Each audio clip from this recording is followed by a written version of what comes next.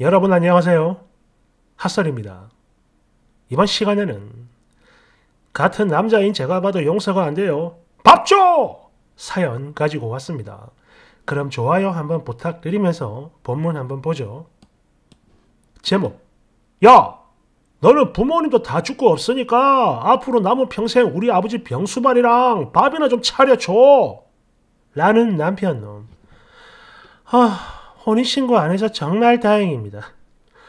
원제, 시아버지 밥 때문에 이혼합니다.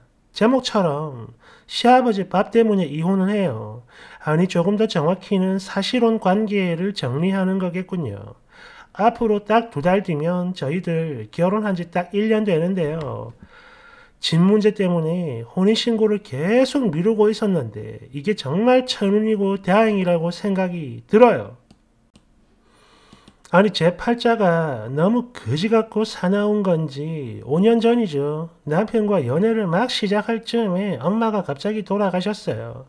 저희 아빠는 아주 어릴 때 돌아가셔서 거의 기억도 없고 엄마가 전부인데 이렇게 엄마를 잃어버렸으니 얼마나 제 마음이 아프겠어요. 그런 제 곁에서 엄마 잃은 슬픔을 위로해주는 이 남자의 다정함에 속아서 결혼을 결심하게 됐습니다. 얼마 안 됐지만 결심을 했어요. 그런데 또 그렇게 쭉 연애를 해오다가 결혼식 하기 딱 두 달 전 시어머니가 사고로 또 갑자기 돌아가셨고 정말 침울한 분위기였는데 이게 또 어찌어찌 식을 치르긴 치렀어요. 근데 그 충격이 커서 그런 건지 시아버지가 쓰러졌고 특히 뇌졸중 때문에 거동도 되게 불편해졌죠. 결혼하면서 제가 일을 그만두고 남편이 있는 지역으로 이사를 온 터라 할 게 없으니까 시간 있으니까 제가 병원이랑 뭐 병수발 다 들었는데요. 당신이 퇴원할 즈음에 신우이가 이혼을 합니다. 그리고 자기 친정, 즉 저희 시댁으로 들어왔어요. 뭐 한참 전부터 별거 하는 중이라는 건 이미 알고 있었는데 갑자기 이렇게 이혼을 했다며 가방 싸들고 집에 들어오더라고요. 이혼 사유 다른 거 없고 신우이의 그 알코올 중독 수준의 엄청난 술 때문입니다. 엄마 돌아가신 게 슬프다고 한 병, 아빠 쓰러진 게 마음 아프다고 한 병, 그리고 이혼한 게 힘들다며 또 한 병. 그렇게 매일매일 주구장창 술을 마셔대더라고요. 참고로 저는 원래 결혼하기 전 가게를 운영하던 사람이고 그걸 접고 결혼한 거죠. 그리고 이 지역에다가 새로 오픈하려고 자리를 알아보곤 있었지만 어쨌든 지금 당장은 일을 안 하고 있는 백수니까 태어나고 집에 들어온 시아버지 케어도 제가 하게 됐어요. 신우이는 술 때문에 제정신이 아니었거든요. 저희 남편은 소방관이고 요즘에 집에 들어와 잠자는 것도 힘들어하기 때문에 당연히 며느리인 제가 대신 나서서 하는 게 맞다는 생각을 했습니다. 다른 생각 전혀 없었고 그냥 이게 옳은 거라고 봤어요. 즉 아무 불만 없었다 이거죠. 참고로 저희 시댁이랑 저희 집은 차로 한 20분 거리인데 아침에 남편 출근시키고 바로 시댁으로 건너가 시아버지 아침 겸 점심상을 봐드리고 그리고 밤새 시누이가 먹었던 그 술병도 다 치우고 집안 청소까지 다 해놓고 나오면 학원을 갑니다. 그리고 그런 뒤에 다시 가게 자리 알아보러 돌아다니다가 또 시댁에 가서 시아버지 저녁상을 차려놓고 집에 오면 마지막으로 남편의 밥을 챙겨주는 걸 한 석 달 넘게 해왔어요. 마침 그러다가 아주 적당한 위치에 가게 자리를 하나 찾게 되었고 간만에 일찍 퇴근한 남편이랑 함께 밥을 먹으며 가게 오픈 이야기를 하고 있었는데요. 제가 그러니까 자기야 내가 봤는데 그 자리 너무 마음에 들어. 이렇게 저렇게 공사 좀 하면 늦어도 한 두 달쯤 뒤에는 오픈할 수 있을 것 같은데 등등등 제 나름 기분이 좋아서 이런저런 이야기를 다 하는데 이때 남편이 뭔가 골똘히 생각하는 표정을 지어요. 그리고 하는 말이 아니 그럼 우리 아빠 밥은 어쩌고 딱 이러는데 이게요 너무나도 진지하게 말하는 그 표정이 이거는 단순한 의문 그런 게 아니라 저한테 물어보는 거였어요. 네가 그렇게 해버리면 우리 아빠 밥 어쩌냐고 이거요. 그리고 그걸 깨닫는 순간 오만정이 다 떨어져요. 저도 놀랐는데 정말 얼음처럼 차가워집니다 마음이. 처음엔 분명 가게 오픈하기 전까지만 좀 챙겨달라 이렇게 부탁을 하는 자세였거든요. 근데 그게 시간이 점점 지나면서 언제부턴가 이 모든 걸 당연히 제가 다 하는 게 맞다 이런 식으로 말을 하는 그 태도가 좀 어이없고 짜증이 나긴 했지만 뭐 그래도 시간 지나면 지가 다 대책을 세우겠지 이렇게 생각을 하고 있었는데 그게 아니었나 봐요. 아니 남편이 생각하는 그 대책이 바로 저였나 봅니다. 출근하기 전에 살짝 들러 좀 봐주고 퇴근길에도 마찬가지. 잠깐만 들여다봐 달라며. 자영업이 좋은 게 뭐겠어? 바로 이런 거 아니야? 어 좀 해봐. 이딴 소리를 하더니 지 동생은 하루 20시간 넘게 취해 있는 애니까 불안해서 아빠를 못 맡긴다고 하는데 어처구니가 없어서 그냥 바로 질렀어요. 야 장난하냐? 나는 식모살인을 하려고 너랑 결혼한 거 아니야. 그러니 그게 당연히 내 몫인 것처럼 말하지 마라. 그걸 언제까지나 내가 다 감당할 수 있는 것도 아니고 그리고 신호이도 그래 혼자가 됐으면 이제 자기 앞가림만 할 수 있게 어, 오빠인 네가 혼을 내서라도 자리를 잡게 만들어야 되는 거 아니야? 이랬더니 뭐를 걔는 원래 그런 애야 그런 애를 믿고 내가 네가 손을 놔버리면 절대 안 되지 그건 방치고 직무유기고 무책임이야 이딴 소리를 해요. 따로 케어해줄 사람을 찾든지 나 모르겠고 무조건 네가 방법을 찾아라. 나 이제 더 이상은 못한다. 이러니까 정말 끝까지 매정하네 무심하네 네가 아빠라도 그렇게 했냐? 이러면서 사람 가슴을 후벼 파는 거예요. 아니 당신 자식들 하나는 바쁘고 하나는 늘 취해 있느라 자기 아버지를 이렇게 방치하고 내팽개쳐 두는데 내가 왜 내가 왜 내 몸을 갈아서 그걸 들여다봐야 되는 거냐 이랬더니 몰라서 물어? 어?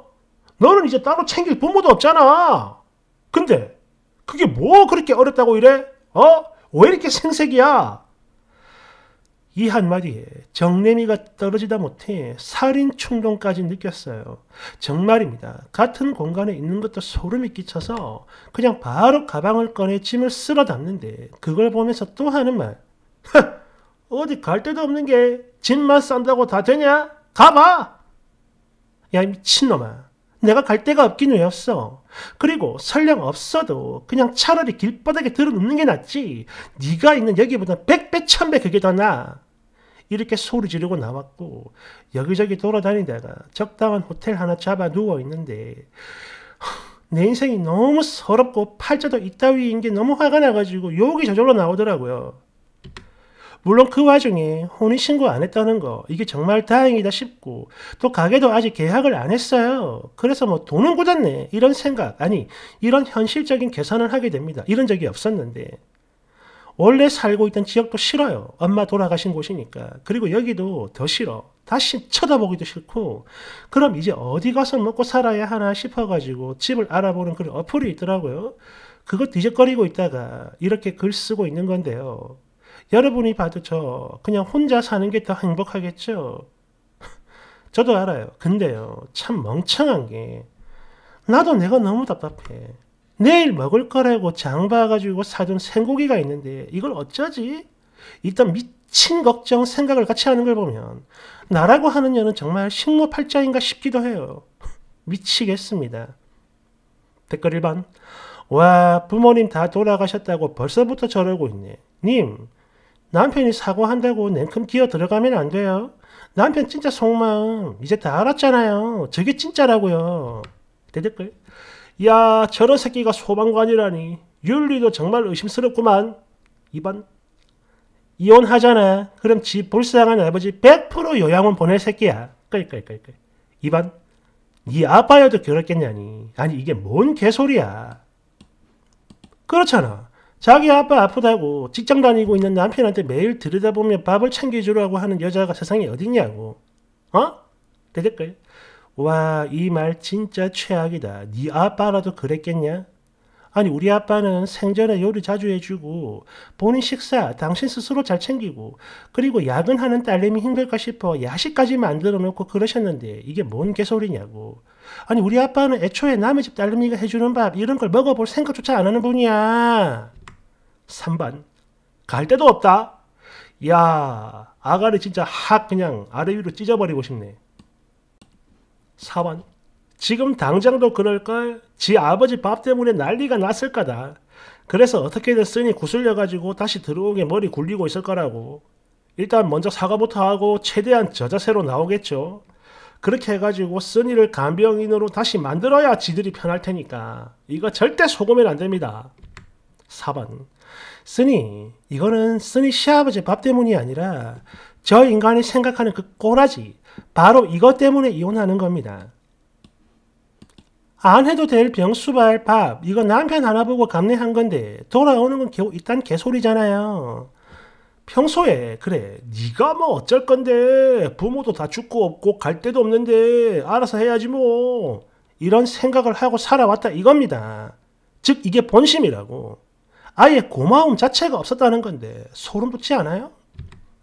지금 고기 걱정할 때가 아니라고 이 아줌마야. 5번 그 고기는 그냥 썩든 말든 신경 꺼요. 그까짓 거 썩었다 버리면 그만이지만 네가 만약 돌아가잖아요? 그럼 님은요 썩은 고기보다 훨씬 더 못한 그지 같은 삶을 살게 될 거라고요. 제발 정신 좀 차려요. 쓰니 부모님 지금 하늘에서 울고 있습니다. 6번 이거는 쓰니 팔자 문제가 아니라 그냥 둘이 악연 같아요. 함께하면 집안이 풍비 박살날 뭐 박산날 그런 일밖에 없는 거죠. 어. 그러니 여기서 찢어지고 본인 살 길을 찾으세요. 그게 맞습니다. 7번 쓴이랑 아예 모르는 사람 그냥 길 지나가는 사람이라 해도 이렇게 매정한 소리는 못할 겁니다. 원수가 아닌 이상.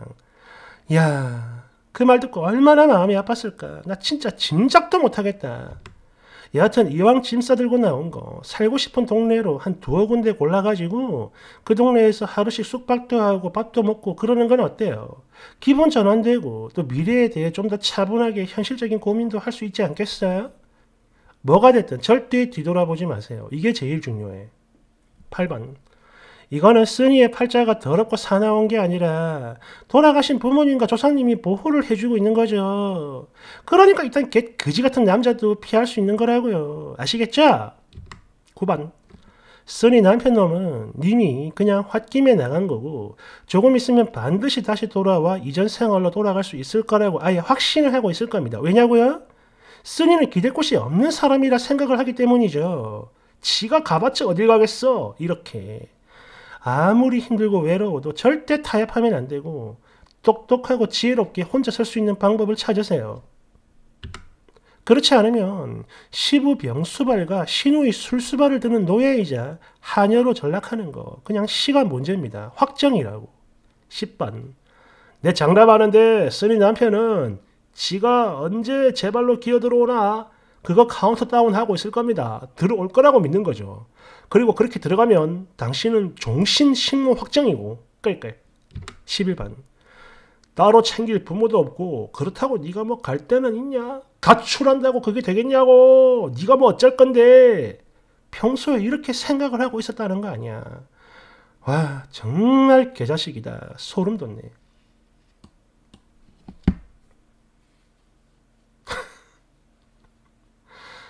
참 이해가 안 되는 게 네가 아버지면 네가 그렇게 할 수 있겠냐 이러는데 아니 지 아버지한테 지는 왜 안 해? 이런 게 우리 엄마 불쌍해 우리 아빠 불쌍해 이런 대리효도 사연들 올라오는 거 보면 참 진짜 저도 남자지만 너무 부끄러워요. 이런 놈들이 진짜 있거든요.